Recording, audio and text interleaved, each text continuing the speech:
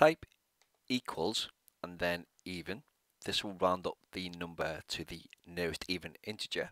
Open your parentheses or brackets, enter your static value, close your parentheses or brackets, press enter or return on your keyboard. And you can see it's rounded up 1.5 to the nearest even integer, which is 2. We can apply this to a cell reference again, type equals even. Open your parentheses or brackets, enter your cell reference, which in this is example is B4. Close your parentheses or brackets, press enter or return on your keyboard, and it is rounded up 3 to 4. Because remember, this is a nearest even integer, and you can perform this calculation also on a negative number.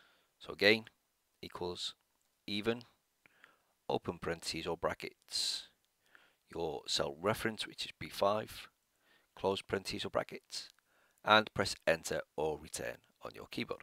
Thanks for watching. Bye bye.